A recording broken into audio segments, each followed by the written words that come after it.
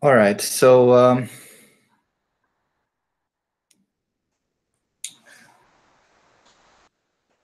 so let me uh, start the lecture. So now we start uh, analyzing infrared uh, divergences, specifically in QED in this lecture and uh, in the next lecture in QCD.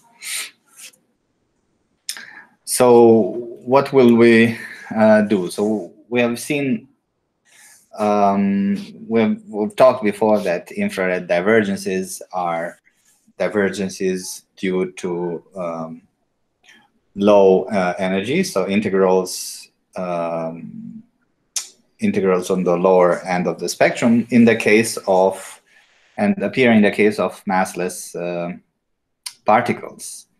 And uh, we will see that also that they are um, of two types one that's called collinear and one is called soft.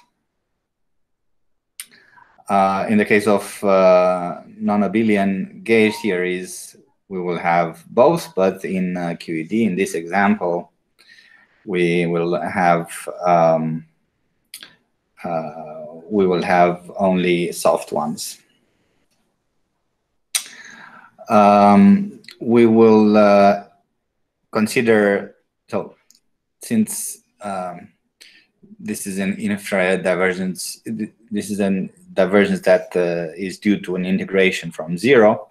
We have to put a cutoff at zero in the way we, the same way that we put a cutoff uh, at infinity uh, for UV divergences. So the first uh, way we'll do this by um, uh, introducing a photon, a small photon mass but then we'll do this in dimensional regularization. And uh, I will show you how to how the two are related in a very simple manner, to calculation. Um, and uh, and then we will uh, we will have to get rid of these divergences. As we said before, UV divergences are you uh, get rid of them by renormalization, but infrared divergences, you get rid of them by adding apparently different um, physical situations. Uh, so adding a diagram with uh, one less loop, but uh, one more uh, physical particle being emitted, but a particle of uh, either very small energy uh, in the case of uh, soft divergences or collinear, very small angle with respect to uh, the particle being, with uh, some other particle being emitted. In the case of uh, collinear divergences. Um, so, um, uh, and then we'll, we'll show that indeed by adding these two, the divergences disappear and moreover, it exponentiates um, in the so-called Sudakov form factor. All right, so that's uh, uh, in a nutshell what we'll do today. So first, uh, collinear divergences. Already in a, a second lecture of uh, um, of QFT2, we have we, we talked about uh, um, well, the appearance of uh, infrared divergences. And uh, the example that I gave to you was a simple one where um, we had two n plus 2 vertices. And then we had um, n external lines going to the left from one vertex, and uh, external lines going to the right from the uh, the other vertex, and then two lines um, joining the two vertices and forming a loop. All right.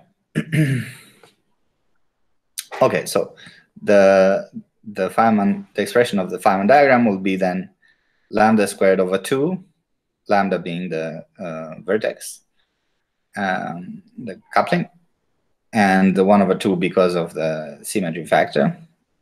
Then integral over the loop momentum q. And um, um, um,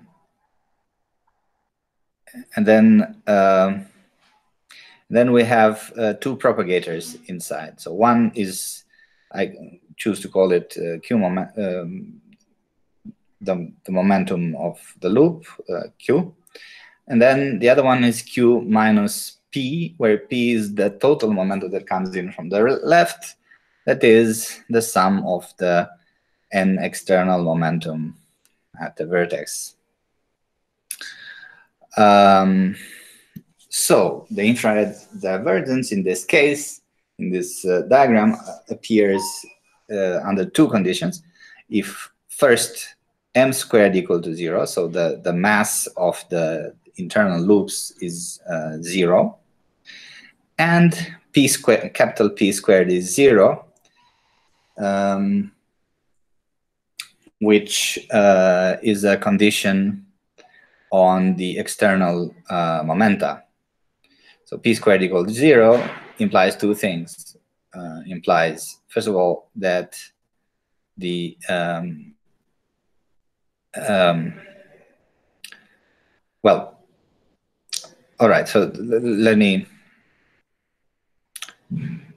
yeah, let me uh, let me continue. So uh, you'll see what what that implies. anyway, so uh, if m squared equal to zero, then the integral appears like this. So now I have one over q squared. So I reduced the power of q uh, when q goes to zero. But then also in the other one we have q squared plus m squared equal to zero. So um, so we're left with little q squared minus, li minus two little q squared dot uh, capital P squared. All right. Uh, that means that if we are in four dimensions, which is our, our uh, uh, that, the thing of relevance for us, uh, and if I put little q dot capital P equal to zero, then um, the integral Oh, so that's a, that's a, uh, a region in the angular integration. Then the um, uh, the integral contains this factor, integral dq, where q is the the the, the absolute uh, value of um, the loop momentum. So integral dq over q, which is log divergent well, it's also UV divergence, but more importantly, it's also divergent at um, the lower end at q equal to zero. Uh, professor. Yeah. What's p? What's q hat and p hat? Uh. No, uh, yeah. Here I meant the directions, right? So, so I have, um, uh, I, I, write uh,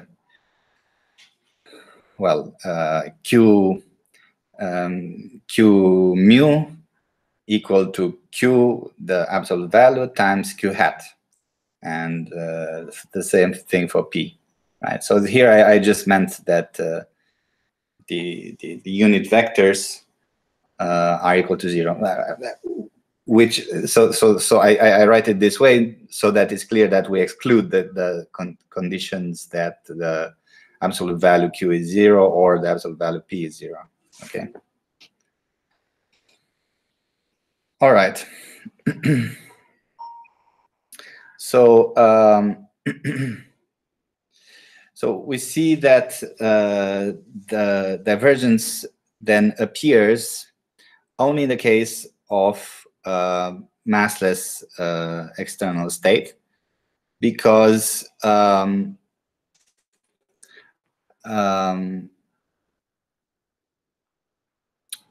um, well, because I have to have um, this um, q dot p equal to zero.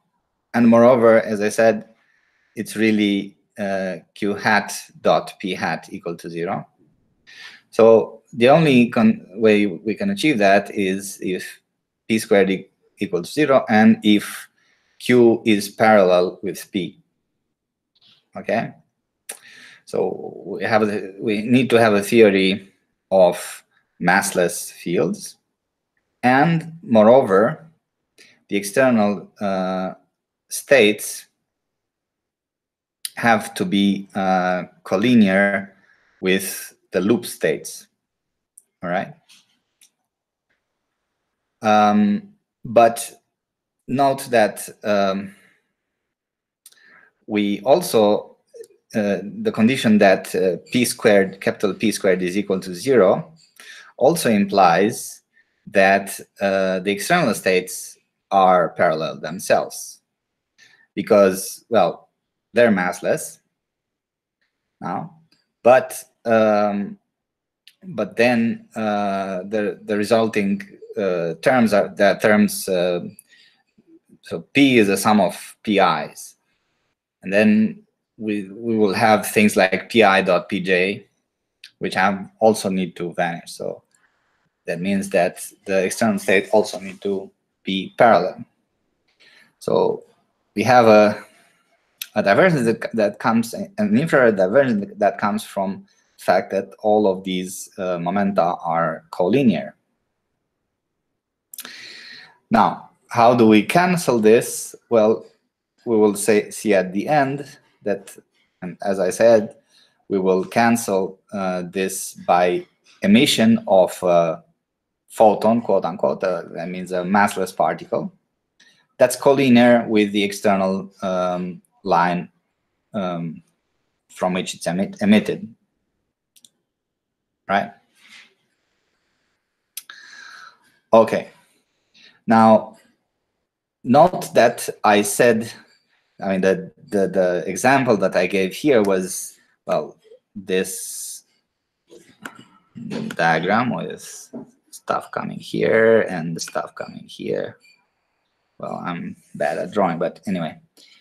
Um, so the point was that there were these vertices with all of them with um, massless massless uh, fields. Uh, so so we have massless interacting fields. Uh, now we don't have that in QED. We have that in QCD where we have um, gluons, massless gluons interacting with themselves. So there's a three-point gluon and four-point gluon uh, vertex. All right, so this collinear divergence will be appearing in QCD, but it does not appear in QED. But anyway, let's uh, let's consider let's um, let's see how this looks in um, in uh, um, how the the divergence uh, looks like. So you can calculate uh, this loop I mean, we we had um, we had in uh, uh, I guess in well 335. I guess that's in the third lecture uh, of QFT2. We had uh, a formula for this in uh, this um, this kind of integral or this kind, if you want, and um, uh, so yeah, for, for, the integral at m equal to zero. And um, uh, we had a formula for general D. And this was this is the result that we obtained, where alpha is a, a Feynman um, uh, parameter. Um, and now this integral, well, from this gamma, well, you see gamma here will be gamma of 1 over epsilon, so that uh, gamma of epsilon, excuse me. Uh, so that will be proportional to 1 over epsilon. Right? Then there's lambda squared. And then, um, uh, yeah, and then I also have p to the uh, minus epsilon over 2. d minus 4 is by definition minus epsilon over 2. uh, minus epsilon, excuse me, uh, p squared minus epsilon over 2. And um, um,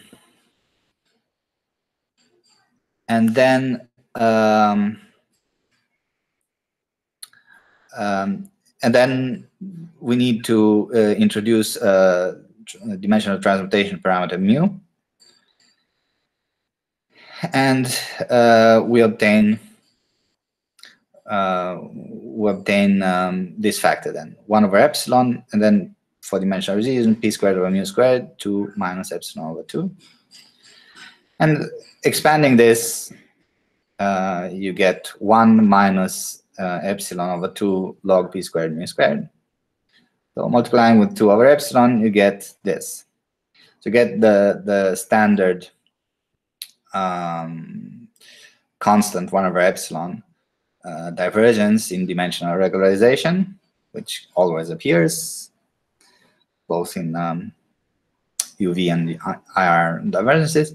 But then um, the, the important part is this log of a p log of p squared over mu squared. And the divergence is now so um, the uh, the important divergence is when um, um, masses, regularization masses, in this case, the dimensional transmutation parameter mu, uh, go to zero. So when mu goes to zero, then where uh, this p squared is fixed, um, then um, uh, this thing goes to zero. Uh, this thing diverges, sorry. Uh, professor, uh, Yeah. Isn't isn't mu fixed some physical scale? Um, um, Then I couldn't put it to zero, right? Yeah, okay. Well, there's two ways to interpret it. The, reason I said this is because I, I um will see later on that if we um if we compare with um, mass regular mass regularization for the photon, we'll obtain exactly the same factor. Um, so so mu really is um, the counterpart part to mu uh, physical in the um, uh, the photon mass, right? So so that's why that's why I said uh, uh, this.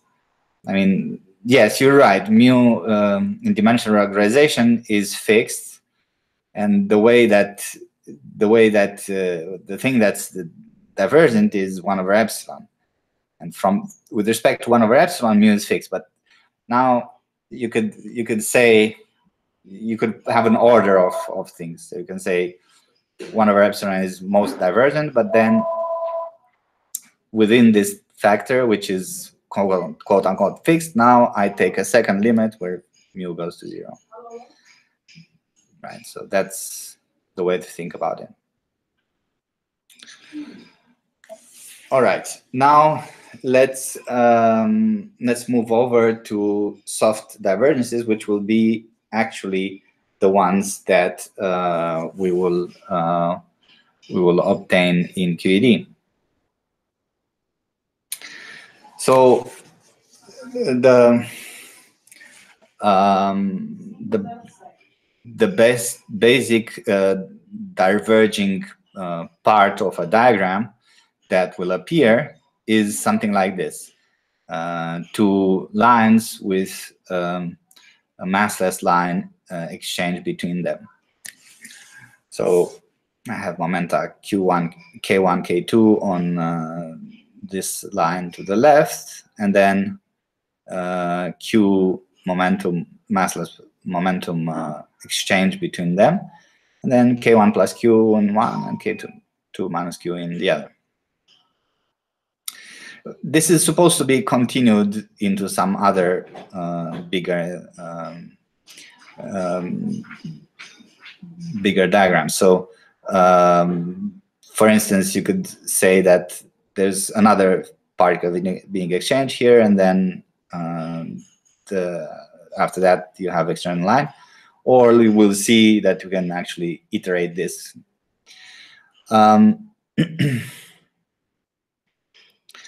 So the, the, the, way we're, we're, we're, thinking about this is, is about QED, but, um, but uh, for simplicity, uh, we'll think of the uh, scalar QED, where we uh, change the, where we exchange the, um, the, the fermion the electron with a uh, complex scalar, right?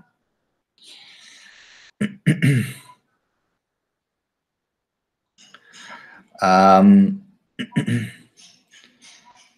and uh, moreover, let's consider the case, uh, also for simplicity, let's consider the case uh, of uh, the scalars being massless.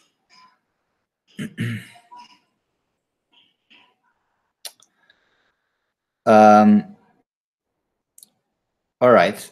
So the so this this particular part of the diagram will be what? So there's um,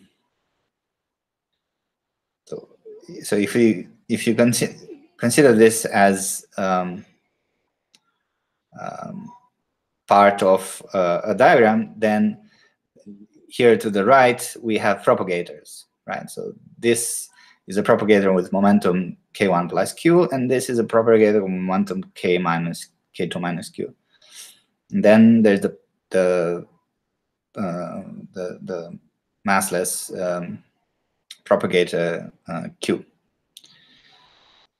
So yeah, so the, the fact that the line are are are um, the the uh, the, the complex scalar li um, lines are uh, massless, it's irrelevant. So whether we put m equal to zero or not, uh, doesn't matter. So let's say then we have this propagator with uh, mass m and momentum k plus q, k, uh, k1 plus q. Then um, this massless propagator with q. Then this momentum uh, propagator with momentum um, q minus k k2 minus q or um, and um, mass m. Now putting um,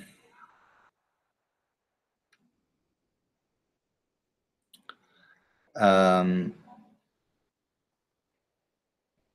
so considering that uh, the k1 so the, the particle to the left is external, so it's on, uh, on shell, then uh, I have that k1 squared plus m squared is equal to 0, and also k2 squared plus m squared is equal to 0.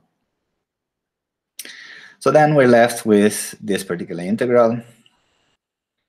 Um, again, a leading term with uh, various q squareds, and then uh, subleading terms with q dot k1 here and q dot k2 here.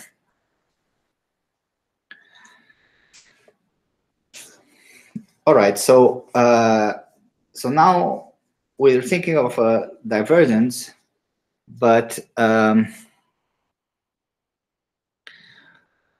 um, we're, we're, thinking of a divergence, but uh, not necessarily um, depending on the orientation of the of the photon, right? So before we were thinking about uh, particles being collinear, but so in particular we had q dot uh, external momentum p was equal to zero, but here q dot k1 or q dot k2 doesn't need to be zero.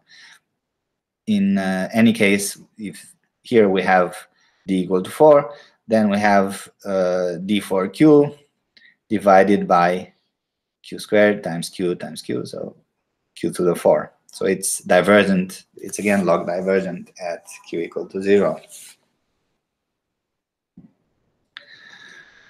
Um, so um, so the divergence then only appears from uh, the modulus of q being equal to 0 which amounts to both small energy and small momentum.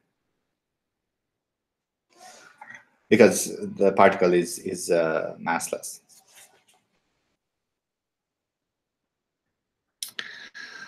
Um, so this is called since it's, it's uh, for soft virtual uh, massless particle in a loop. um, is called a soft divergent and is uh, present uh, both in um, in um, QCD and in QED. It's always present in the presence of uh, massless particles. now, as a, uh, a kind of comment, I will note that in uh, non-abelian gauge theories, which we'll, we'll study the next uh, lecture in more detail, uh, we have, as I said, we have both soft and collinear infrared divergences. So um, when going to dimensional regularization, a di divergence uh, has a leading uh, 1 over epsilon, as, as we noted before and here in this lecture as well. So we had the 1 over epsilon for uh, collinear uh, divergences, and for soft divergences, we'll also have another 1 over epsilon. So together we'll have a leading 1 over epsilon squared.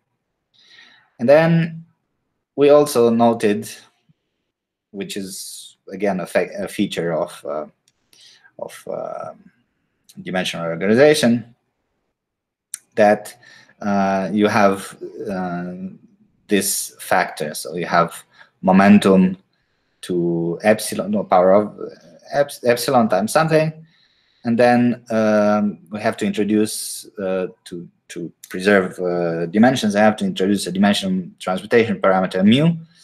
Uh, so we have p squared of mu squared to ep epsilon times some some number. So let's say uh, so instead of uh, mom momentum squared,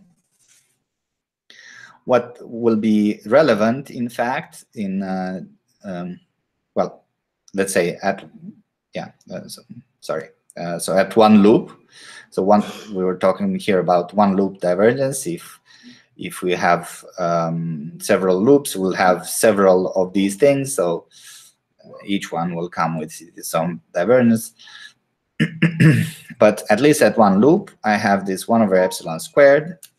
And then um, in Mihammed's theory, we'll have this.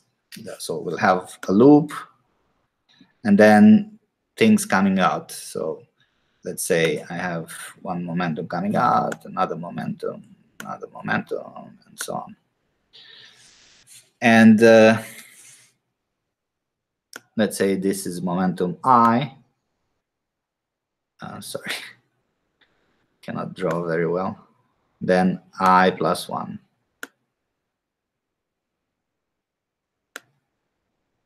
Ah, well, I cannot draw it. I and I plus 1. Anyway. Um, then uh, I'll, I connect, uh, I construct the invariant uh, momentum S i i plus 1 is, is ki, ki plus ki plus 1 squared.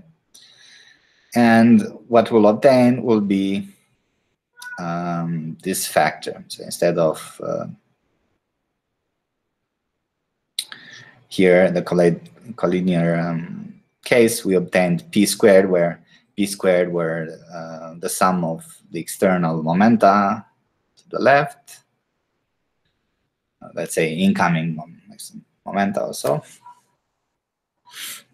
Uh, here we'll we'll get uh, the sum of um, consecutive momenta.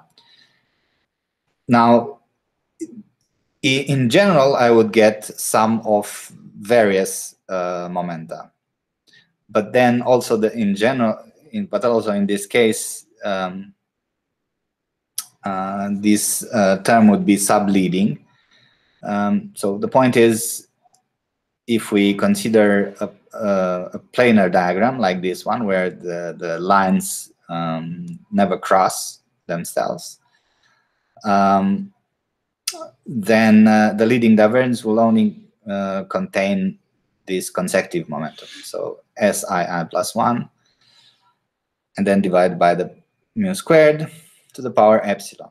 And by uh, expanding this, we will obtain the leading 1 over epsilon squared, and then 1 over epsilon times log s over mu squared.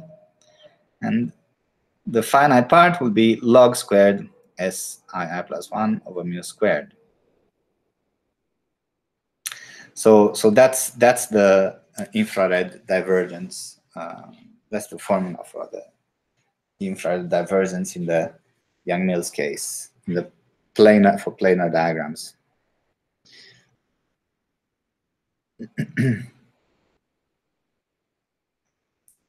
now, in the case of QED, we'll obtain what we'll obtain for this uh, for something similar will be just 1 over epsilon log some invariant divided by mu squared.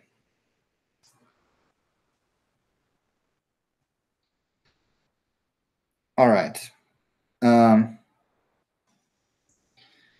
so as I said, there are uh, two uh, ways to deal with this uh, infrared um, divergence. One is uh, photon mass, the other is um, dimensional regularization, and the two are related in the sense that the only difference in dimensional regularization you get 1 over epsilon, and otherwise you relate mu um, dimensional transmutation parameter with mu photon, which is the photon mass. Um,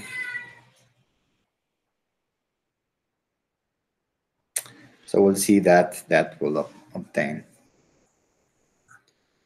Um, yeah, just as a, as a final comment, um, I noted that this is the divergence that we obtain at one loop.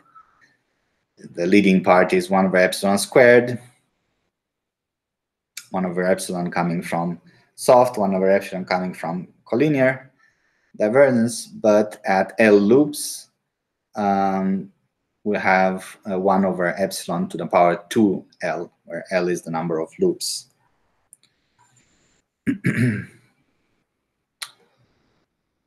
okay.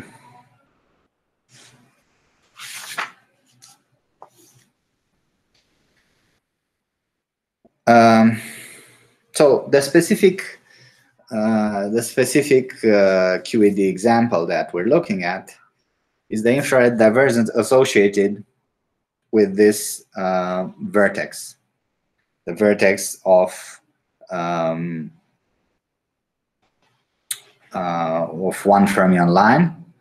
So one in, in let's say one incoming electron, one outgoing electron, or if you cross it, you can think of incoming electron and positron or something.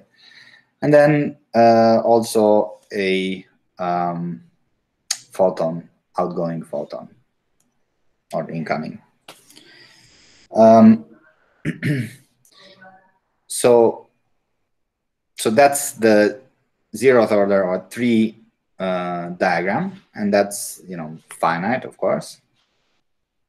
But the infrared divergence that we're interested is at one loop. And one loop correction to this, uh, we know already what it is. We, we actually um, talked a little bit about it.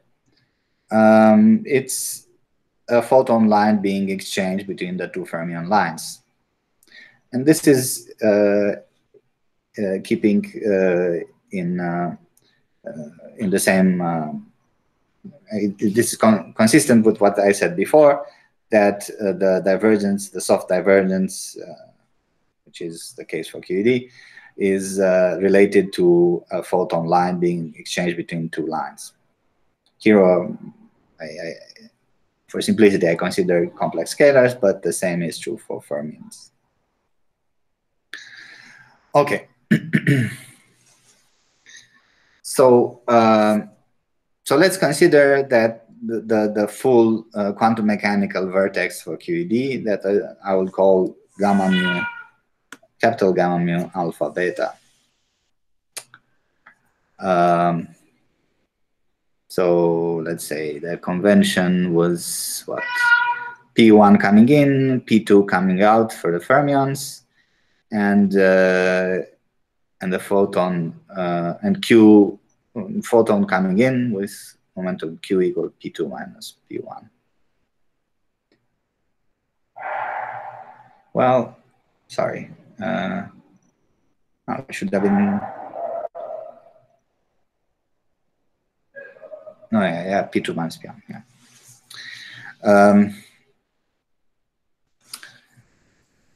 so by Lorentz invariance, the this general um, vertex can only be uh, something proportional to either uh, so either something constant that is the the gamma gamma matrix gamma mu, or it could be um, uh, something proportional with the momentum p2 or momentum p1 Right? These are the two momenta that are available. But another way of saying it is uh, that it would be proportional to either the uh, sum of um, P1 plus P2 or with the difference of P2 minus P1. That's another way of, uh, of, uh, of rewriting the same thing. But uh, we've seen before that the vertex have to, has to satisfy the Ward-Takahashi identity, meaning that it should, should be transverse. So if I multiply with uh, the photon uh, momentum, q mu, we should get zero. So q is equal to p2 minus p1, so gamma mu is p2 minus p1 should be zero. Uh, now, when I multiply with the sum, I get zero. But then the the only relation then is A with uh, gamma mu times P2 minus P1 plus C P2 minus P1 squared is equal to zero. Um, all right, then we also have to remember that this vertex gamma mu has fermion indices alpha, beta, but these fermion indices cannot appear in physical processes, cannot appear by themselves. So they are usually between the external, um, so, so this is a full quantum mechanical vertex. So these uh, appear between the uh, full um, fermion um, external uh, external uh, lines, uh, u bar of P2 and u of P1. So then if I multiply, so if in here I always have u bar P2 to the left and u of P1 to the right, then we note that um, P2 minus P1 mu times u mu, u bar mu, P2 gamma mu, u P1 is zero on shell because uh, we have the Dirac equation. So the Dirac equation, um, so if I, so I, I, break this into a P2 part and a P1 part. So P1 part, uh, then I have P1 mu times gamma mu, so P, P1 slash U of P1 equal to zero on shell. Right, that's the Dirac equation. But then also the Dirac equation bar is to u bar u bar p2 times p2 slash, which is the first term. So this is zero by the Dirac equation. So I can just ignore, in this equation, I could just ignore the A term. And I can just say that C is equal to zero. So that means that the physical vertex, the, at least the vertex that appears in uh, in uh, physical um, calculations uh, will only have A and B. On the other hand, we have also the Gordon identity, which is sometimes written uh, as two equations and sometimes at the average uh, as the average of the two, which is this following one. So um, so if I have uh, u bar p2 gamma mu u of p1 um, multiplied by m, so this is the, the, the part proportional to a in the physical situation. Um, this can be rewritten as uh, p1 mu u bar p2 u p1 uh, minus part proportion with sigma mu. nu. So minus i u bar p2 sigma mu nu p1 mu u of p1. But I could also, instead of writing this, I could write plus and here uh, exchange p1 nu with p2 nu. So sometimes it's also written as the average of these two, meaning, um, oh yeah, and here also p2. So I can use the average with p1 mu plus p2 mu over 2m here and here um, um, the average uh, would be uh, so p2 minus p1 which is q. So i sigma mu q no q nu over 2m all right so this this form uh, is useful now because it means that uh, so we we we, we said that in the general form for capital gamma mu, the, the vertex, c is equal to zero. So I have part with gamma mu, part with p1 mu plus p2 mu. So I can, I can in exchange by the Gordon identity, I can exchange the part with p1 mu plus p2 mu, this part, with uh, a part, uh, a component proportional to gamma mu. So a, part, I can change the coefficient a. Again remove the coefficient b, but then change the coefficient a and introduce instead a part proportional to sigma mu nu q nu.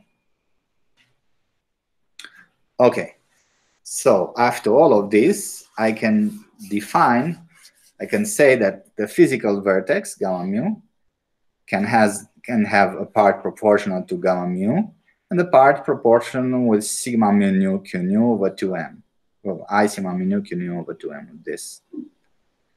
So the first uh, coefficient uh, is called f1, is a function of q squared. Uh, and the, the second is called f2. These are structure functions f1 and f2 of q squared.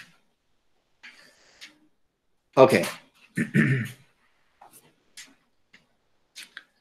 Uh, we've considered this one on one loop gamma mu uh, in um, le lectures six and eight, but uh, we've we've ignored the infrared uh, divergence.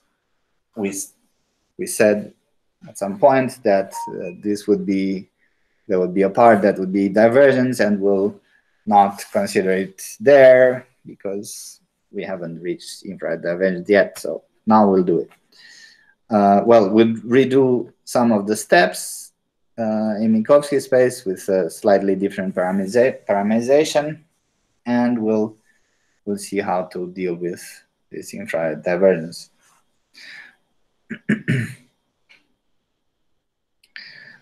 uh,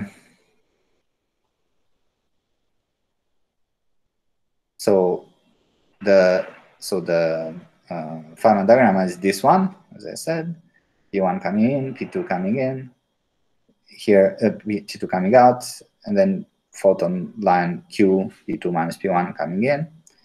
And then I introduce, uh, so in this loop, I introduce another photon uh, exchange, but I, I say that the initial momentum, Fermi momentum is Q, is K, K uh, then the final momentum is k plus q. Then the photon line is p1 minus k. Okay.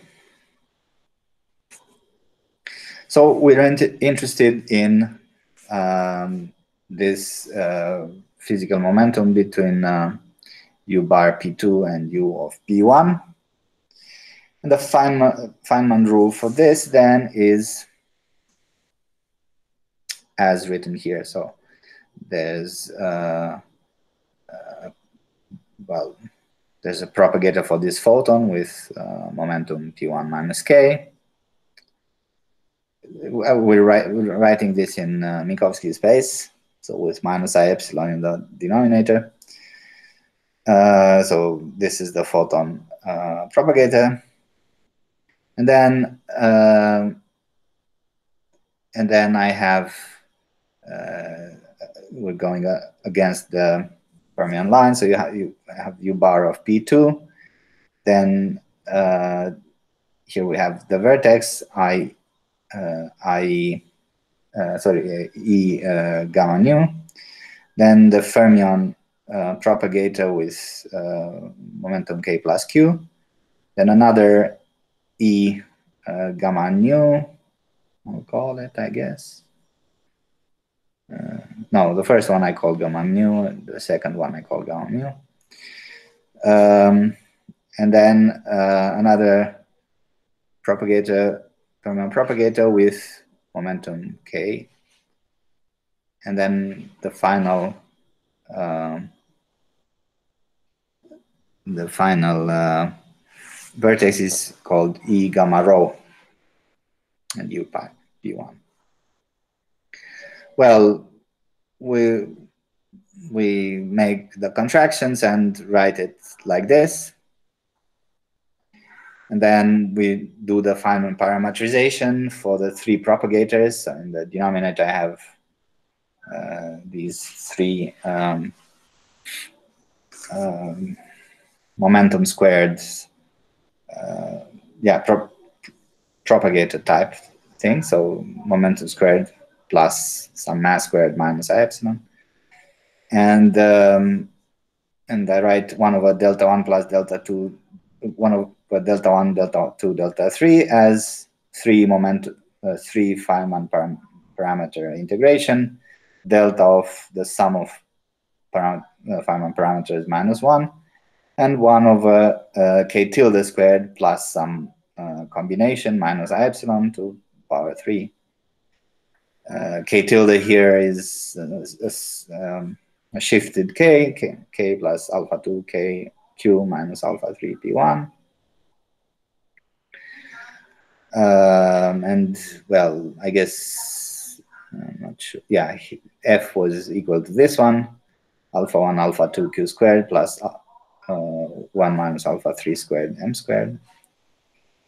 And um, and we also have to consider, so here we have various, um, so in the numerator we have various combinations uh, of uh, momenta and, uh, and constants as well. So there's a part with gamma mu. Um, um, but uh, in terms of momenta, more specifically in terms of the loop momentum k. In here, in here we have a term without momentum. There's a term with, with one momentum, and there's a term with two momenta. So we note that by Lorentz invariance, the, the one with one momentum up is zero because, well, this thing um, I mean, f is uh, does not have a Lorentz index. Uh, so the only possibility in here is for this to be zero. Um, and uh, if it's k, uh, k tilde mu, k tilde nu, it has to be uh, proportional to a Lorentz invariant. Um, so that's uh, G. So then by going back, it's you see it should be actually one fourth g mu k tilde squared. So uh, so you reduce then the um, inter loop integral to only scalar loop integrals. Uh, one with nothing in the numerator, one with uh, k squared, k tilde squared in the numerator. And then we have seen that after some algebra, we rewrote that as uh, loop integration, Feynman parameter integration, delta function, then this um, this factor that comes from uh, the Feynman parameterization, 1 over k tilde squared plus f plus i epsilon to the cubed. And then we have what we expected. So we have u bar of p2, u to the left, u of p1 to the right, and in the middle we have k gamma mu times something, and i sigma mu nu q nu over 2m times something. And that something is a combination of uh, loop momentum, k tilde, uh, external momentum k, and mass, uh, uh momentum uh, q, and um, mass m, and the Feynman parameters, of course. Uh, so then you need to, this full vertex needs to be UV regulated, but we'll ignore it. Um, well, we've um, we've uh, we've done some uh, part of it um, before. Uh, well, we'll not uh, we'll ignore it at this point, but later on we'll introduce um, a subtraction procedure, uh, renormalization condition. Um, and we'll note that the part with uh, k tilde squared in the numerator, this thing is uh, UV um, divergent because we have d4 k tilde, k tilde squared, so k tilde to the power 6 upstairs. And then downstairs we have uh, we have this k tilde squared to the cube, so k tilde 6. So this part, so this uh, integral is um, UV divergent, but that's not interested for us. Um, what's interested uh, is the part without uh, uh k tilde squared in the num numerator, which in lecture 8 we call gamma 1b that is UV finite. However, will, it will contain uh, infrared divergence.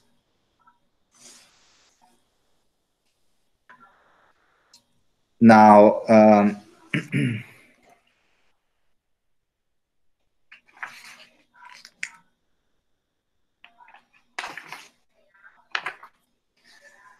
now uh, performing the Wick rotation um, on a, a formula from lecture three and putting uh, d equal to 4 for the part of the integral that is UV finite. So uh, ignoring this gamma 1a, which corresponds to k tilde squared in the numerator.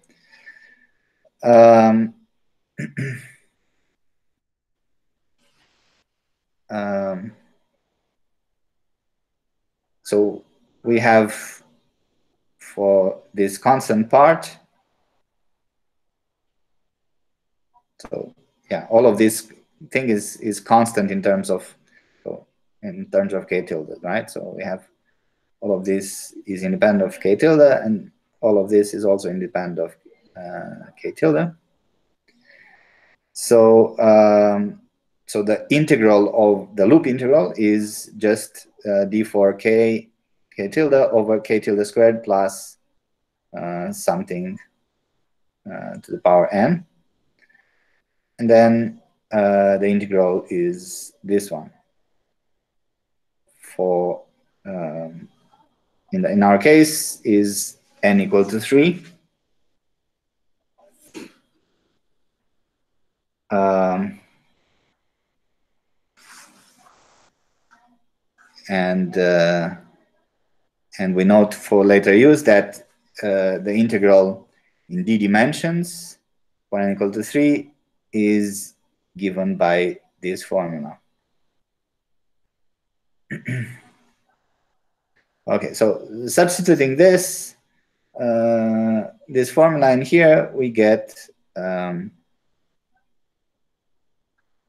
so, so,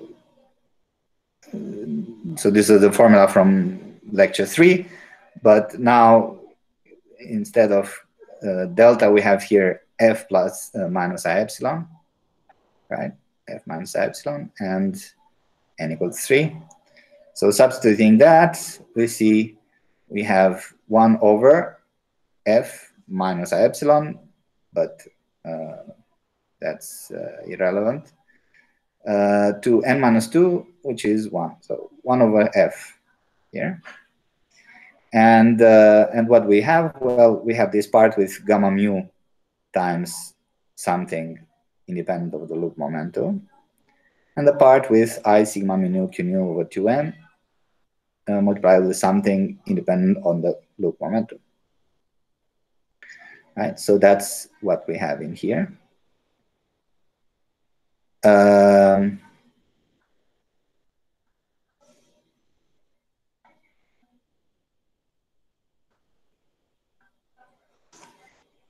oh, wow, uh, I have a, a uh, typo here. It should be here. There should be u of p1, right?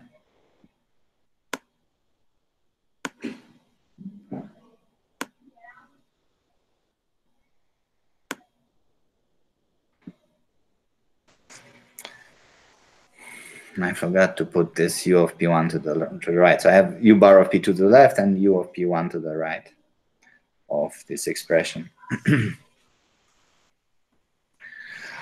um, then we note that uh, um, that this expression that multiplies um, that multiplies gamma mu is uh, is the structure function f1 the one one b the one loop b part of it because we've we've uh, taken out the uv divergent part that was uh, gamma gamma one uh, a we only kept gamma one b um, and then the other part so this part is uh, F2. And this is F1. This is F1, this is F2.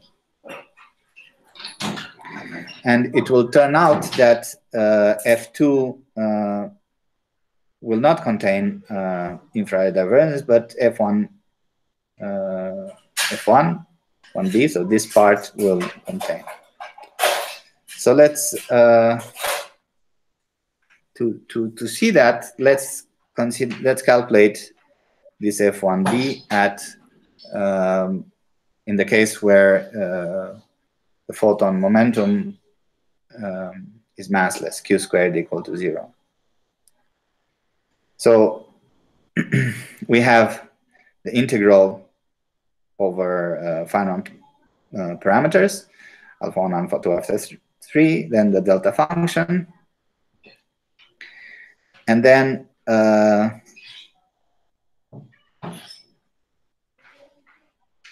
uh, yeah, q squared equal to 0, so this one is not here. And then we have just 1 minus 4 alpha 3 plus alpha 3 squared times m squared. Um, yeah, so uh, so this is f1 1b divided by m squared, this integral. I do the delta function. So I replace uh, alpha 2, sorry, alpha, I, I replace alpha 1 with uh, 1 minus alpha 2 minus alpha 3. Then the integral over alpha 2 is until 1 minus alpha 3. Um,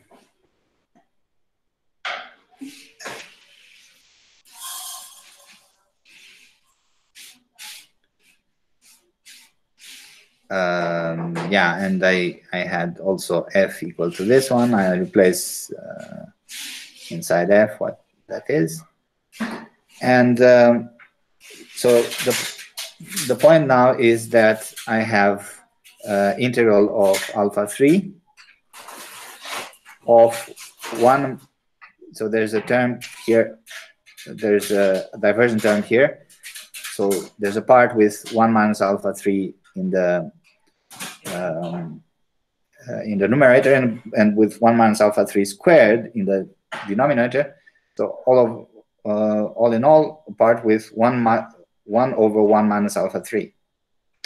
Okay, so, so at this upper uh, integration limit of, over alpha 3 at 1, I have integral d alpha 3 um, uh, the coefficient there is 3 minus alpha 3, but near 1, so 2.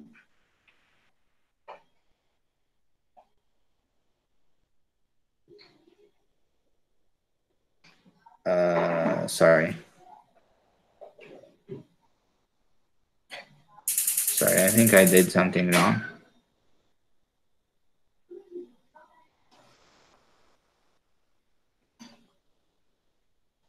No, it's, it's sorry. Uh,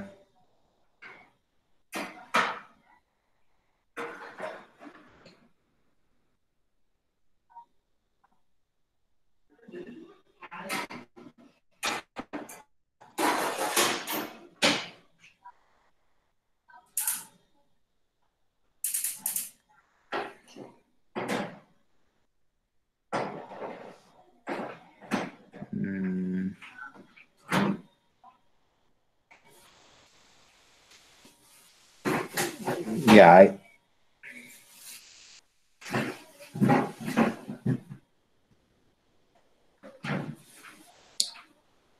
yeah, sorry, I, I have to actually expand this uh, better because uh,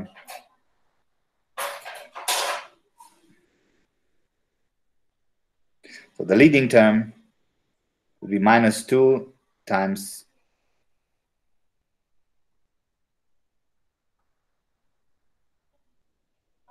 plus 2 times 1 minus alpha 3, that goes to 0. Yeah, it's actually minus 2 over 1 minus alpha 3 squared. Uh, yeah. It's not a log divergence. It's a 1 minus alpha 3 divergence.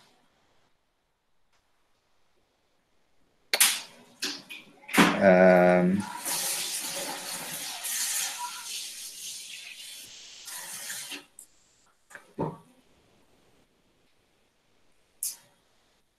Well, okay. The important point is that it's a it's a divergence near alpha three equal to one. I think uh, I think I, I just have a, a typo here. I think it's supposed to be squared because the, the leading divergence is minus 2 over 1 minus alpha 3 squared. but when you do the integral over alpha 2, the square cancels, right? Uh,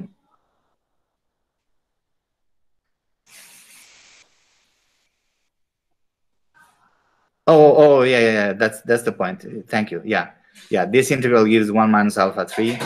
Yeah. Sorry. That's right. Thank you. Yeah. So the integral of alpha alpha two gives just one minus alpha three. That cancels the square. Yeah. Good.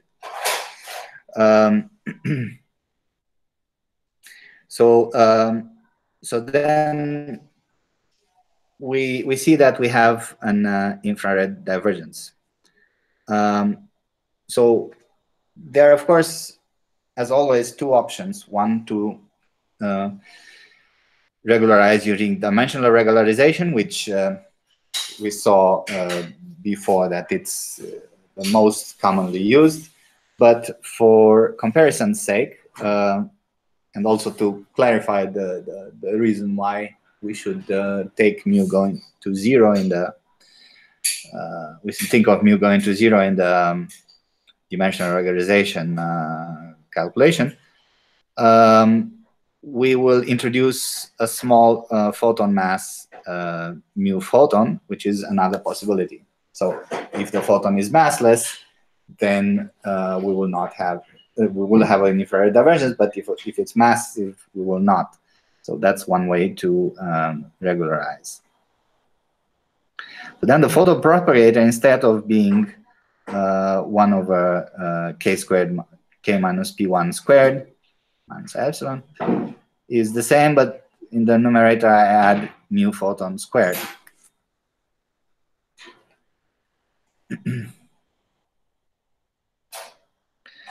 um, but then uh, in the uh, Feynman parametrization, I have 1 over delta 2, delta 2, delta 1, delta 2, delta 3. Um, um,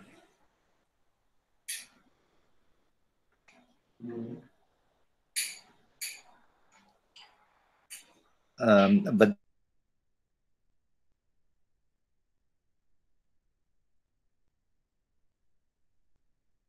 uh,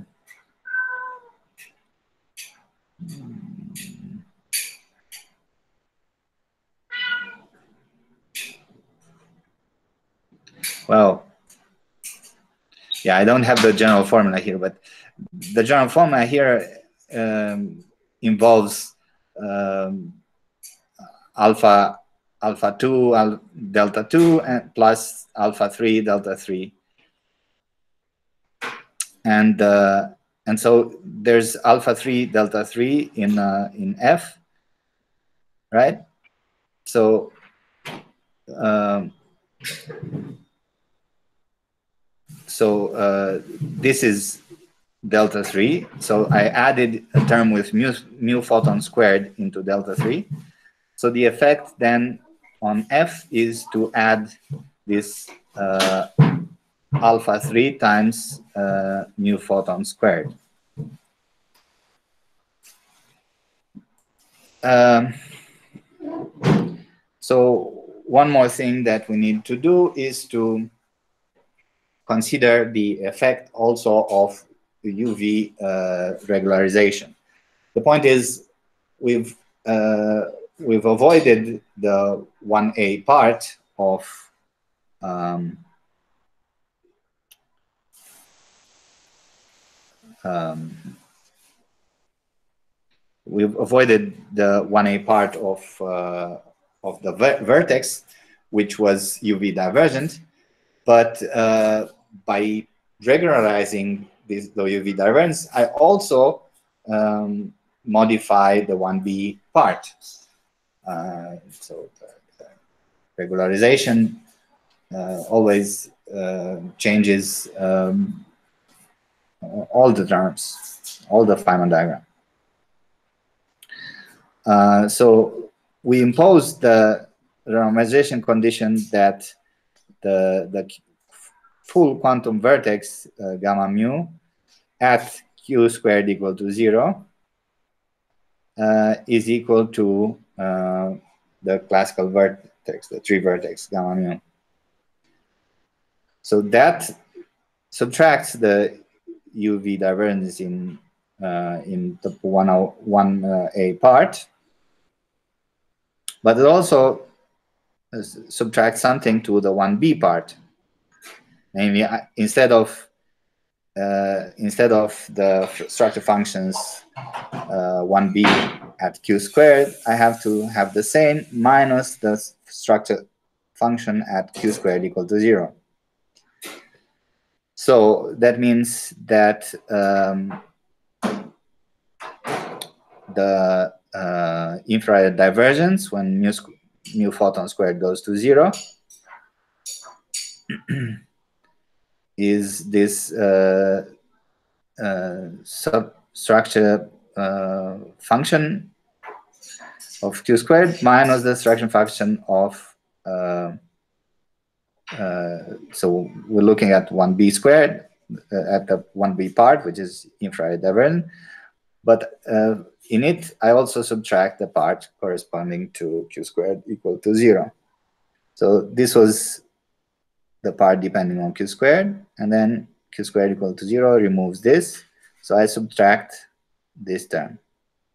So yeah, removes this and removes this. So I subtract this, which is equal to this. Okay. Uh, now the infrared divergence, um, we saw that it comes from the alpha 3 approximately equal to 1 region. But since I have delta of alpha 1 plus alpha 2 plus alpha 3 minus 1, if this is approximately 0, then alpha 1 and alpha 2 are also approximately 0. So that's the region of integration in the Feynman paragrams that uh, the Feynman parameters that we're interested in. So therefore, um, since the infrared divergence comes from the denominator be being zero, in the numerator, I can sub substitute these values. I can substitute alpha 3 is 1 and alpha 1 and alpha 2 is 0 if I'm, if I'm only interested in the infrared divergence.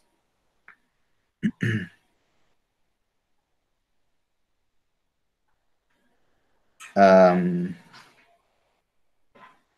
and the, the same for the regulators. So if the regulator is when this goes to zero, the divergence is when this thing goes to zero, then uh, also I can uh, substitute whatever multiplies it with uh, its uh, limit part. So, so that divergence is is uh, due to mu, mu photon squared equal to zero.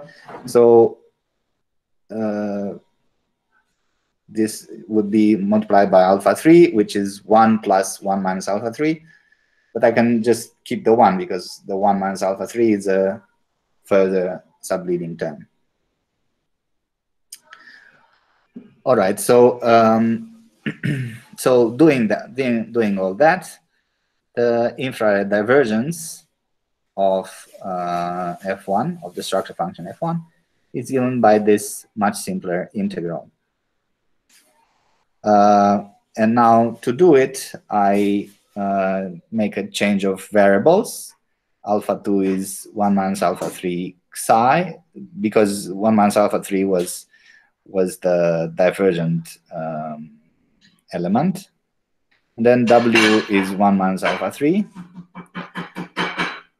Uh, this has Jacobian 1 minus alpha 3, that is W.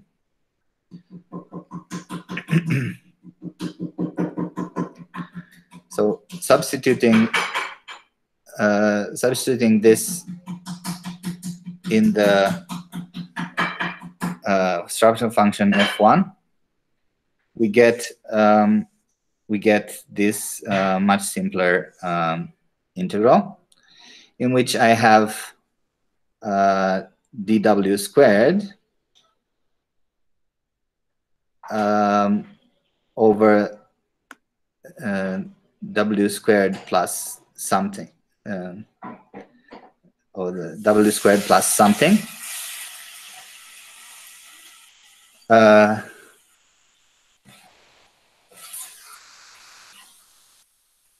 uh, so so that's uh, and w goes to um, um, so w is 1 minus alpha 3 so uh, goes to 0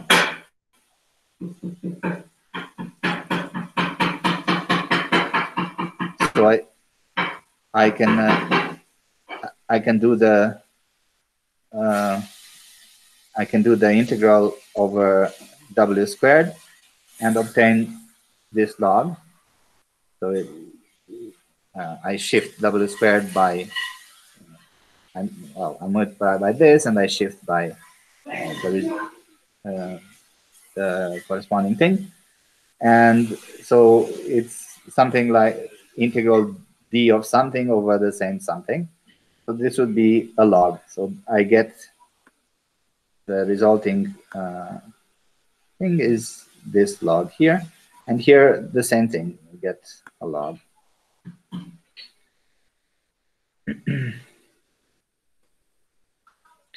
now I'm still left with the integral uh, over xi from 0 to 1.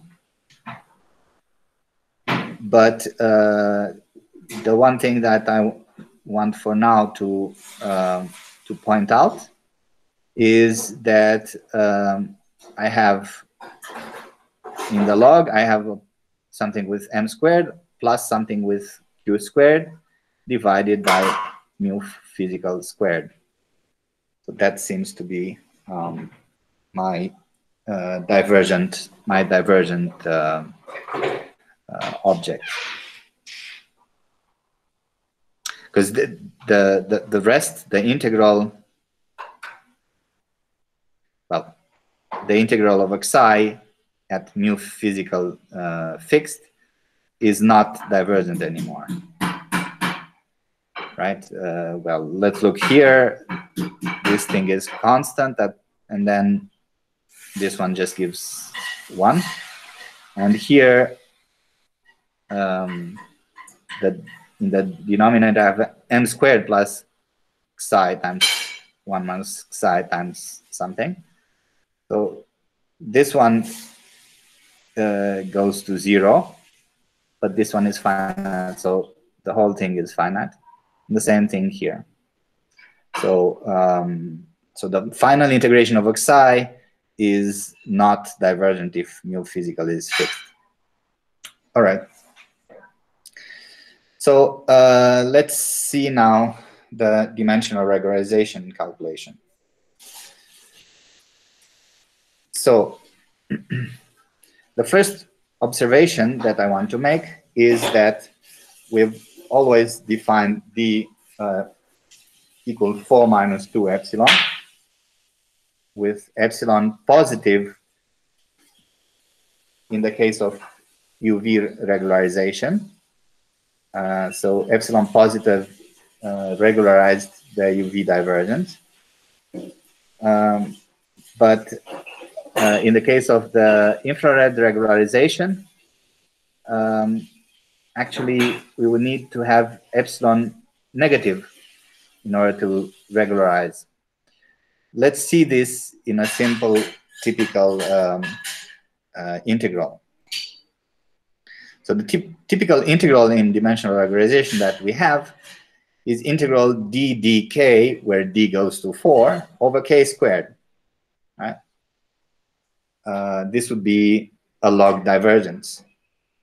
Right?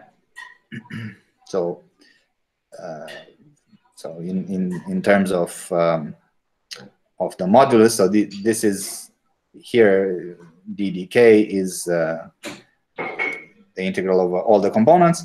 But in terms of the modulus k, this is integral from 0 to infinity dk over k to the 5 minus d. So you can easily see that in order to regularize the, the part where k goes to infinity, so the UV divergence, I have to uh, have um, d less than uh, 4, right? because then I have integral of uh, the integral has dimensions of 1 over k to the something, to the something positive. Whereas in order to uh, regularize the um, the the infrared divergence, the k, k equal to 0 divergence, I need the opposite. I need that uh, uh, dimension is higher than 4 so that I have integral uh, of uh, the dimension of the integral is of k to something positive, which goes to zero. All right, so that's what I um, uh, what I um, uh, described here. So the point is that uh, in the way we uh, uh, in the way we we regularize this particular integral, we have that epsilon uh, in the UV is minus epsilon in the IR for regularization purposes. All right, so then uh, I will define, because of this, I will define d equal 4 plus 2 epsilon in, uh, in the integral that was divergent in, uh, well, in this, uh, in this uh, integral that uh, the generic integral for n equal to 3 that we're interested in. Um, and uh,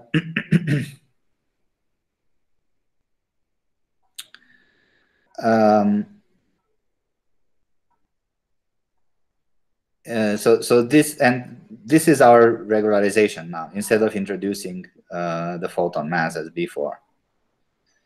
So then the numerator, so you see in here, I have one over, so so in the, after Feynman parameterization, I had this uh, denominator, 1 over k tilde squared plus delta to the 3. Uh, but after doing the loop integral, I have 1 over delta to um, uh, to something, right? To something uh, non-zero. Sorry, something different than 2. Uh, where is it? So, so now I have, instead of uh, 1 over f1 in the denominator, I will have 1 over f1 to the power 1 minus epsilon.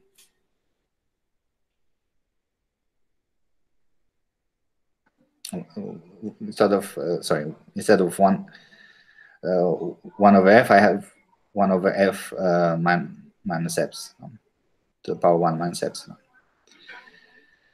But uh, again, the uh, as usual, the Feynman integration parameter um, uh, divergent uh, divergence comes from the same integration area. I mean, this is obviously not uh, dependent on on how I regularize the um, the infinity um,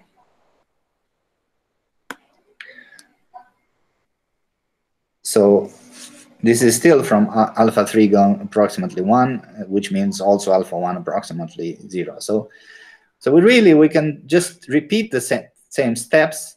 So, um, so in here, I, I wrote uh, 1 over f, and uh, I had uh, in, in, um, in the regularization with photon mass, the only thing that happened is I added a term to f, which was alpha 3 mu photon squared, right? But so, but now instead of this, I have instead of 1 over f, I have 1 over f to the 1 minus epsilon, right? But um, but then uh, I can to do the integration over uh, the Feynman parameters alpha 1, alpha 2, alpha 3. I repeat the same steps that I did here. So I also note that the infrared divergence comes from F1b, and moreover, uh, I have to subtract uh, the the q squared the q squared equals zero part because of the renormalization condition. So I get up to here, and I also substitute in the numerator um, alpha 3 is 1 and alpha 1 and, and alpha 2 are 0. So I also get to this. And so really, I again get to this integration. The only difference now that instead of having the uh, uh, having uh, plus mu physical squared somewhere, I have 1 power 1 minus epsilon uh, in the denominator. So the only thing I get now is because of this dimensional uh, um, imbalance, I have m squared to the power uh, epsilon upstairs. And then I have to introduce the uh, dimensional uh, transmutation parameter mu, mu squared. So I have mu squared of m squared of mu squared to the power epsilon, right? And then um, because of um, um, because of the integral of a, a w squared, so I shift again w squared. Um, so I'll have um, w squared integral dw squared plus m squared over uh, over w squared plus m squared. But now to the power 1 minus epsilon. So um, this also generates a um,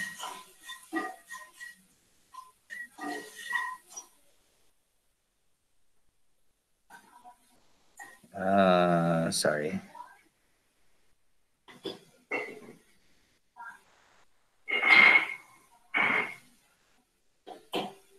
Yeah, this also generates a 1 over epsilon um, 1 over epsilon uh, uh, divergence.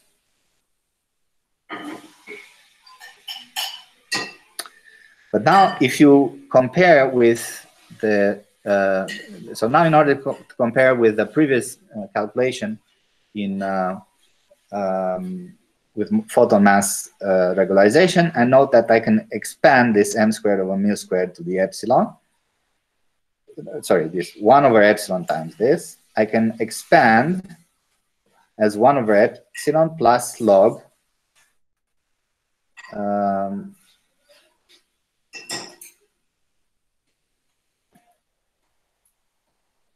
yeah, it's actually m squared times this thing to the epsilon. So I have log m squared plus q squared psi 1 minus psi over mu squared. And in the first term. And in the second, I have uh, 1 over epsilon plus log n squared over mu squared. So, uh, so I so now comparing with the previous result, I see that I had the same logs. And I have also log squared q squared plus psi 1 minus psi over mu squared. And here also log m squared over mu squared. The only difference is that in the dimensional regularization case, I have also a leading term that was uh, divergent in epsilon going to zero. But if I remove this, this term, I still get the same logs, which would also be divergent if mu goes to zero. So can I can really um, identify mu with mu photon.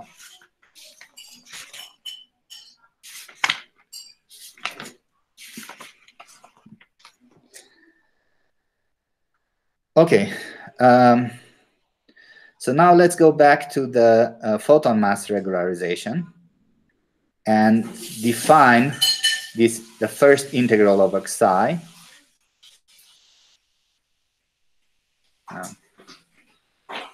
So this integral of x, the xi over, over this thing. Sorry. Uh, this xi over this times this thing as um, sorry, where is it? Uh, as FIR of Q squared. Why this, this? Because this is multiplied by log m squared plus q squared times psi 1 minus psi over mu physical squared. This doesn't uh, doesn't vary too much. It's a log. Um, and in, in any case, for in the case when when uh, the mu physical squared goes to zero, it doesn't matter too much what I have up here, whether I have m squared or q squared. Um, so what I will I will say I will I will write this as log q squared or m squared over mu physical squared. And then it's multiplied by this FIR of Q squared. So the structure function at tree level was one because that's how we defined it. But then at one loop is this integral times times here alpha over 2 pi. Uh,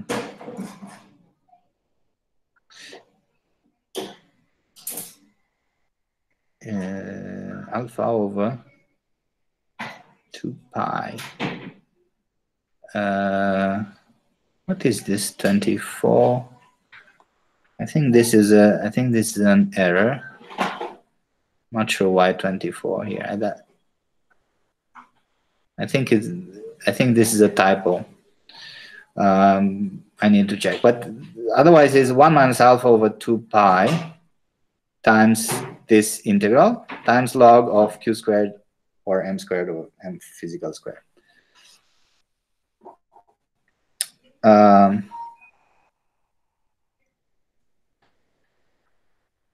now, in the, for the for this uh, integral FIR of q squared, you can see that uh, in the limit where q squared goes to infinity, most the most of the integral comes from uh, the endpoints where psi is approximately zero or one. So uh, so this denominator in the denominator this is uh, zero it is replaced by m squared but then I have this q squared here uh, so so the integral then is um, uh, is so integral from zero dic psi q squared over q squared psi plus m. This is uh, the part that comes from uh, psi approximately equal to uh, uh to to zero, and then the part where psi is approximately equal to one uh, is this one.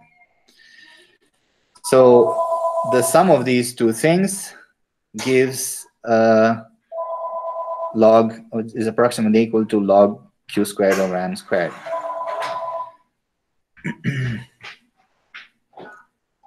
Hello.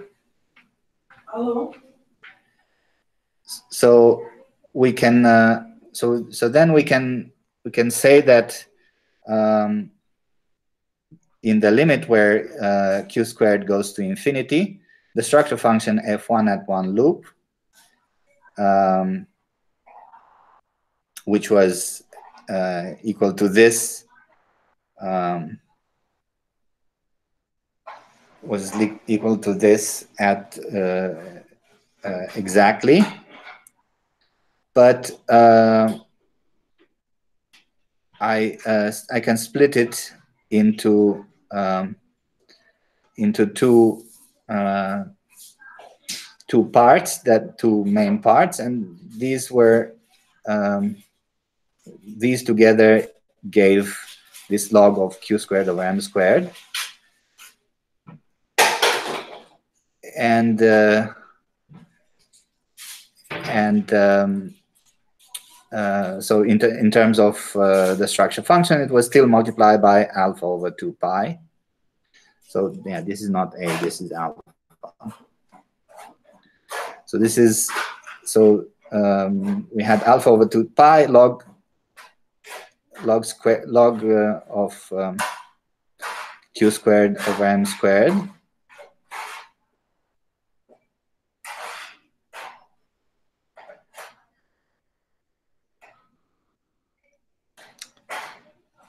Um,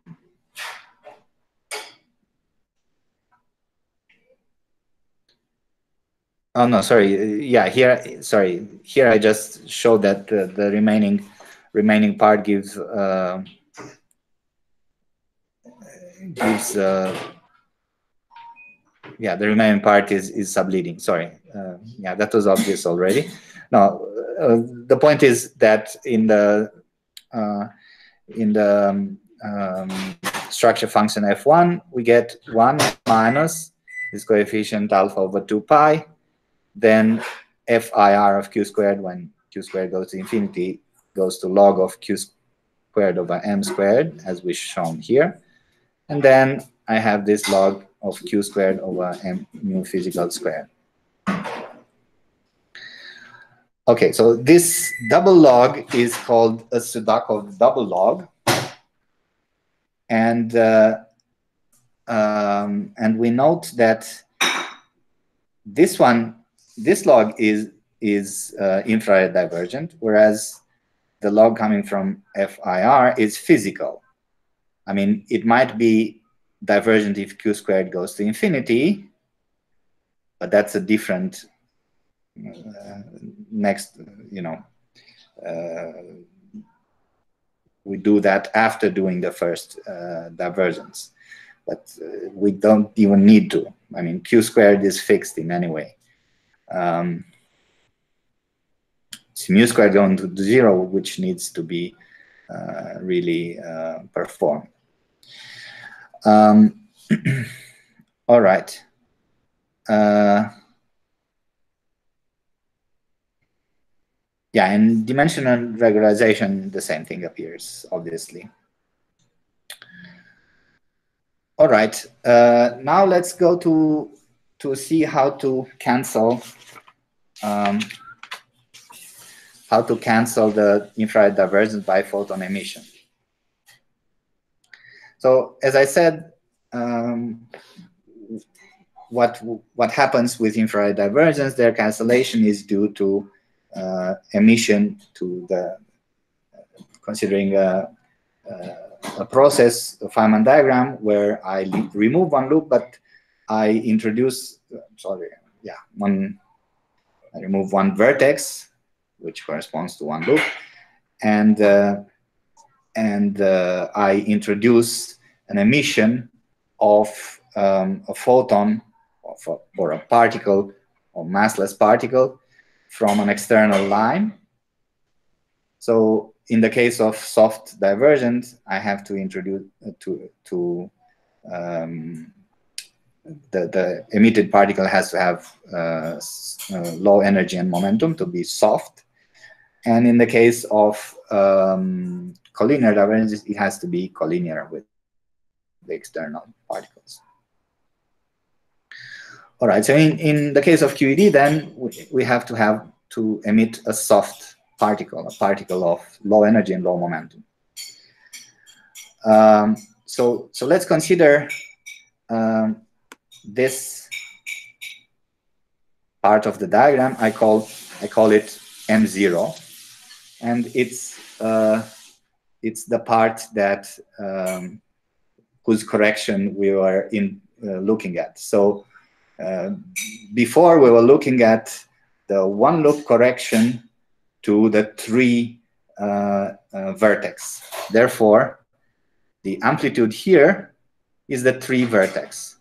So M0, in our case, is the three vertex. But I put M0 because we'll see that in, in terms of infrared divergence, it doesn't really matter what M0 is.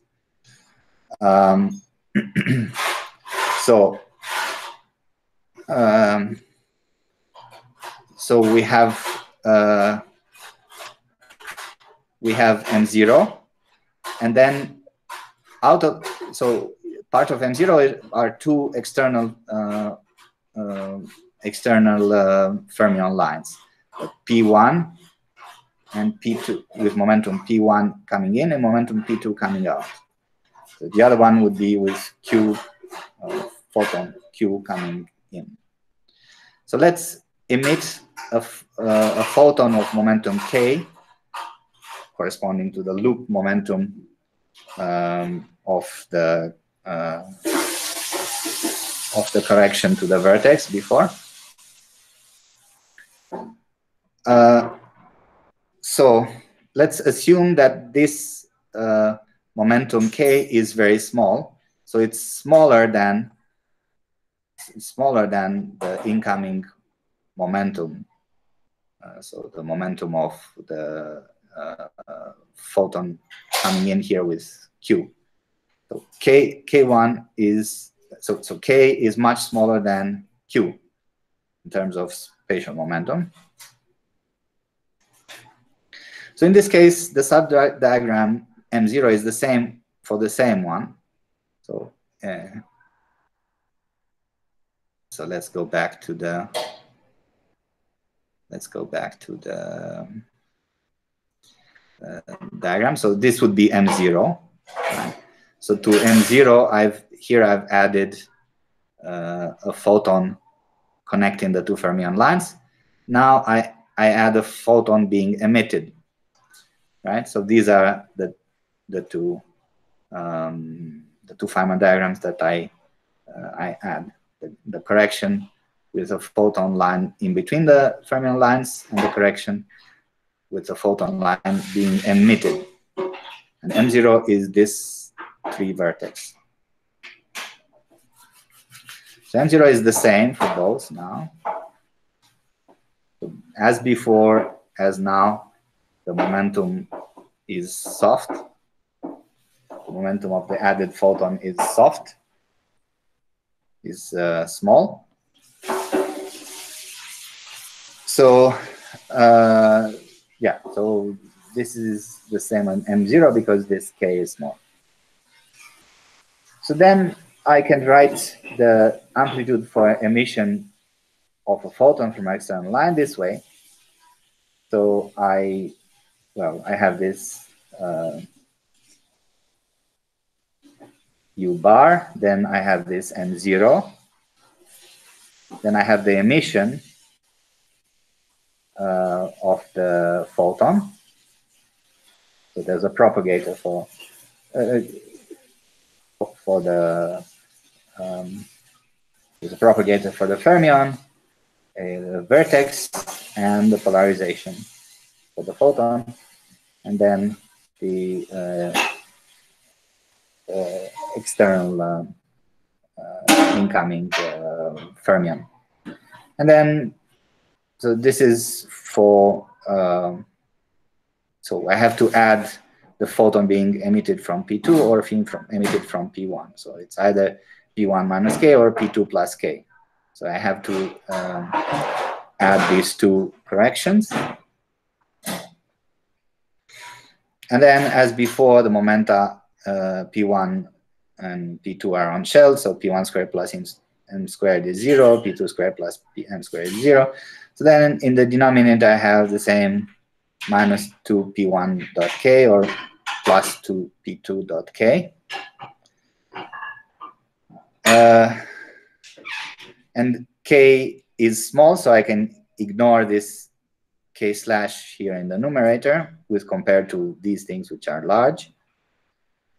So, uh, and also I have to, um, I can use these identities that p, the, the resulting things, p slash plus im p1 slash plus im times gamma mu in uh, epsilon mu uh, star of k u of p1 is equal to, well, I uh, I write uh, yeah I, I write this combination using um, using gamma mu gamma nu plus gamma nu gamma nu is equal to 2 g mu nu. So, so I write, I write one term that as two terms in this way. And then in here, I can use uh, the Dirac equation for, for uh, uh, P1. So I'm left with this. So um, and similarly, I can prove uh, another equation. And so in the end, I, I have the same M0 in between the external state e bar, U bar P2 and U P1 as I had in the uh, original, um, in the un, uncorrected, uh, uh, uncorrected uh, diagram, times E times this uh, combination of momenta. But now I have to integrate over the momentum of the photon, integrate over k, and sum over these polarizations. All right, so in terms of the um, cross section, uh, in terms of the cross section, then I have the cross section. So this will give the cross same cross section. Then I will have, but the cross section is the amplitudes uh, squared. So I have this factor uh, modulus squared, right? And then summed and, uh, I mean, integrated over k and summed over polarization, um, uh, given this factor. Um, but then, so so the, this is the cross section for uh, fermion with P1 going to fermion with P2 plus soft momentum, soft photon, equal to the same cross section P1 going to P2, but without the soft photon, but multiplied by this, which means that this thing is a differential probability to emit a photon from the external, a soft photon from external line, this thing.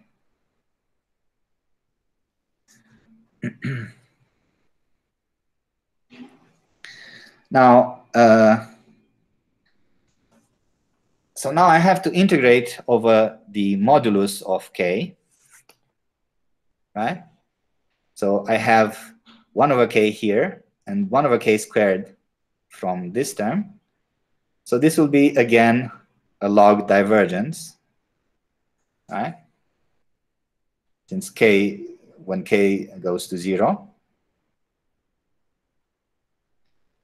Um, so this is still an integral dk over k times something, some i, that I will not calculate here. One can calculate, and is described in uh, well, I think in uh, and Schroeder or something, and is given by this 2 log q squared of m squared over m squared. But the important thing for, for us for the moment is that there's an log divergence. So there's d3k over k cubed. And it's multiplied by e squared, um, which implies an alpha. So with the normalization is alpha of pi times i. So such, this is the definition of i. And then you can calculate, as we said, i is equal to this. Now the integral of k uh, is um, from what? Normally the divergence is when this goes from is goes from zero. To regularize this, we put a photon mass, but then it can only go, um, it can only start at that photon mass. It can only start at mu photon. And it can go up to what? Well, K was, we said that was much smaller than the, the, the momentum of the other photon, the photon uh, in the in the tree um, in the tree uh, amplitude. So the integral is um, approximately between mu photon and q. So that means I get a log q squared over mu physical squared times alpha over the 2 pi times i, which as we said is this. All right, so the so the the cross section for p1 going to p2 plus uh, uh, plus the photon is uh, the, the cross section from P1 going to P2 times this probability.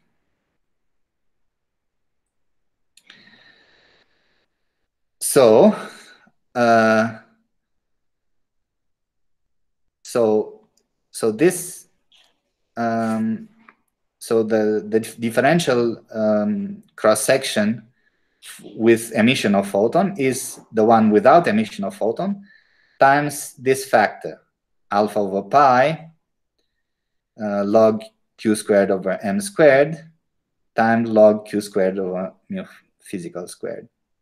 On the other hand, given the um, so given that we've calculated the uh, f1 structure function from the loop correction, the loop correction is absolute value squared of f1, which was 1 minus alpha over 2 pi times log over q, q squared log over q squared over mu physical squared. So absolute value squared is approximately, uh, that means it's approximately 1 minus alpha over pi instead of 2 pi. Then log q squared over m squared log q squared over q, uh, mu physical squared. So now you see that the sum of the differential cross sections of the two processes, the one loop corrected and the one corrected by soft emission, is no, no longer infrared divergent because these two infrared divergent terms cancel in the sum. More physically, we can uh, consider a detector that only emits only uh, that has energy re resolution E minimum, that means it cannot detect photons of smaller energy. So then in the integration here, I integrate from mu physical not to Q. Anyway, we said that K must to be much smaller than Q, so that was kind of uh, forced. So integrate from mu physical to E minimum because that's what one we cannot detect whether or not we have emitted a soft photon with energy smaller than a minimum. And we can also prove exactly, which we'll not do, that I is equal to 2FIR of Q squared. So then the uh, d sigma d omega, the differential cross section for soft emission with momenta smaller than E minimum is the one without times alpha over pi FIR times this log E squared uh, minimum over mu physical squared. And as before, we had the differential cross section uh, corrected by uh, one loop, V1 minus alpha over pi, eh, the same FIR, log q squared over m squared over mu physical squared. So in the sum now, we see that the infrared divergence does cancel, but we are left with something non-trivial. We are left with a log of q squared or m squared divided by E minimum squared multiplied with minus alpha pi FIR q squared. So I do have an, um, a, a Sudakov double log here, but uh, in the correction, but now it's a physical one. Everything here is physical. The FIR log is physical. This is physical in the sense that there is a, a minimum um, detector energy. So the infrared divergence has been removed, and we're left with a Sudakov double log that is physical. Okay, now this was at one loop. Now, what about higher loops? Well, uh, you know, we can we can resum. So we've seen that um, the soft divergence was due to um, to uh, correction with a soft uh, photon going between two fermion lines. Now we can resum um, diagrams with many soft photons being uh, um, exchanged between the uh, uh, fermion lines. And in the same way that we sketched for in the Altarelli-Parisi evolution equation, we can just resum these processes, and this will give just uh, this Sudakov double log to the power n. So each process will give this Sudakov double, uh, double log to the power n. Moreover, each, so, so this is, this corresponds to the fermion lines, and then uh, the photons being exchanged between them. Right? so now the Sudakov double, uh, the, sorry, the, the, the photons, the n photons being exchanged between the two fermion lines are indistinguishable. So I have to, uh, I cannot overcount. I have to divide, therefore, by n factorial. So I have this factor to the n over n factorial summed over. So that gives an exponent, right? So we get the ex uh, exponent of this Sudakov double log. All right, this was sketched to the extreme, uh, but this can be proven. The fact that infrared divergences exponentiate can be rigorously proven, was proven in a theorem by Bloch and Nordsieck in 37. Um, now, what I've described in this lecture was the QED vertex at one loop. But one important properties of, of infrared divergences is the property known as factorization, which means that uh, um, in some physical process, like the physical of scattering process of scattering that we've considered here, electron plus photon going to an electron, uh, we can divide the contributions that are soft, that you can divide the, the, the contributions, the soft and hard contributions, and they factorize in the, in the way described in this, um, in this diagram.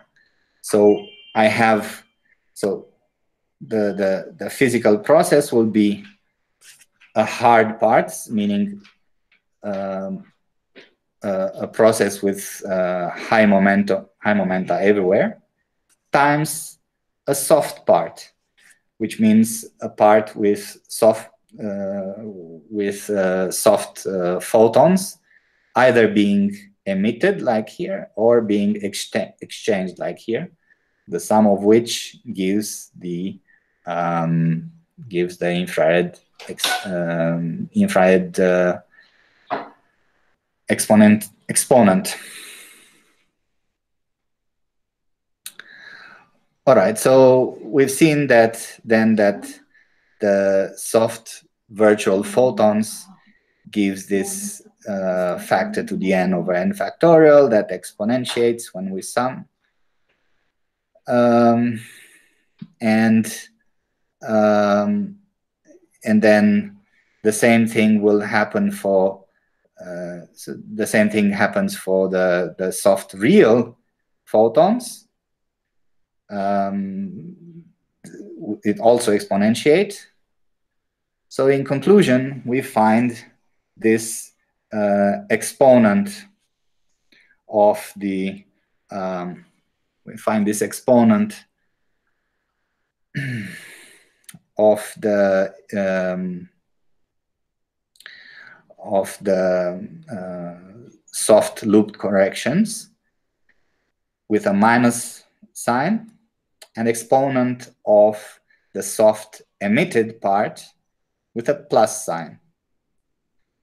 So, of course, the exponent minus something times exponent plus something is exponent of the difference. And the difference of these things gives log of q squared divided by e squared minimum. So in the physical, in the measured process, we have the tree process times the, the, the, the exponent, the Sudakov form factor, which is this exponent of minus alpha over pi FIR log q squared over m squared. All right. now you might say, well, um, I only did, uh, I only actually calculated for you a one loop co correction plus one soft photon emission. I haven't talked about two loops. I kind of sketched the fact that these things exponentiate, but I also emphasized the fact that they, what, what exponentiates is the resumming of, of some Feynman diagrams where these things go like this, but there are much, much, uh, there are all kinds of other uh, Feynman diagrams. All right.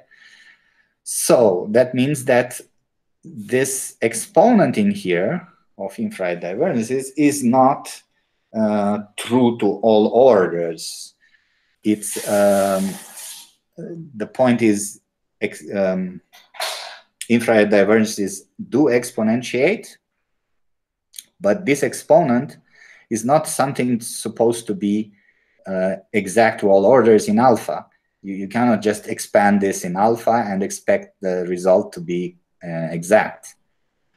So what will happen in the end, since infrared divergences do exponentiate, but um, um, but we've only calculated things to one loop, is that the true result is exponent of this thing to one loop plus alpha squared times something else coming from two loops plus alpha cubed coming uh, times something else coming from three loops and so on. Okay, so there will, there will be an exponent of an infinite sum out of which we've just calculated the first term. All right, so that was all that I wanted to tell you today. Uh, do you have any questions? Uh, in this exponentiation, uh, the tree level diagrams aren't included, right? This 21. So the tree-level, the tree level, is, yeah, the tree-level means just zero. This this uh, zero thing. So d sigma d omega zero uh, is just the tree-level um, uh, process, the tree-level uh, Feynman diagram, right? So all these things, right? So the, uh, so all of these things are uh, corrections to it, right? So so you see, I have exponent of uh, something times exponent of something. So this is 1 plus stuff times 1 plus stuff. So there's this times 1 times 1 is the leading term. So that's the uh, three, um, the three um, uh, contribution. Okay. There's all orders in tree level diagrams in this term. So no, no, no, no. I mean, this this sigma d omega. This is just uh, this process. The well, sorry, sorry, I cannot draw this.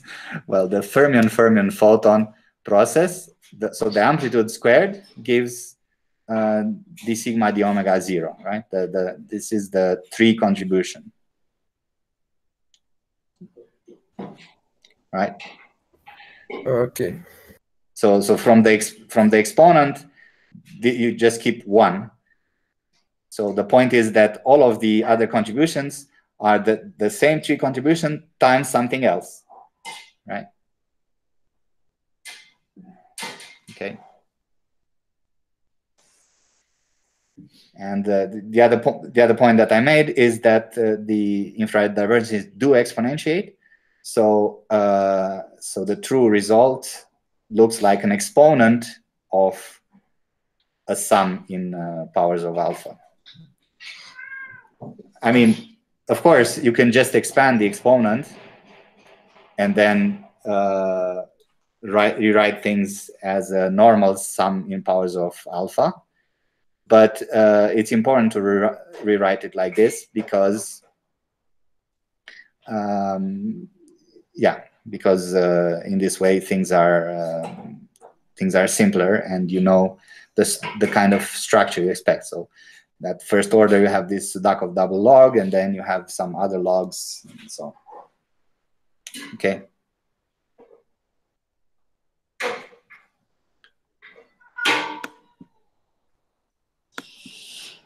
Other questions?